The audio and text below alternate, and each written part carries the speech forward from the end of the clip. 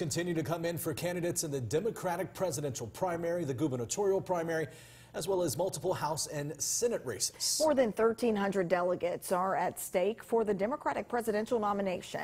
We want to start things this afternoon with a look at voting in Pitt County. Our team coverage begins with uh, Amber Madison Forsey right now. She's live in Greenville with a look at turnout. Madison.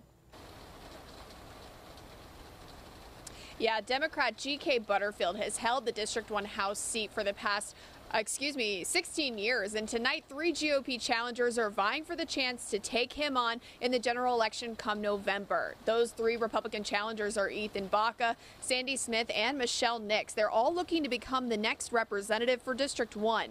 District 1 stretches from Pitt and Washington County all the way to Vance County. All three candidates say they support President Trump's policies. They each fully support the military and pro-life issues and back Second Amendment rights. Baca and Smith Smith are making their first run for public office. Nix is the former vice chairwoman for the Rep Republican Party.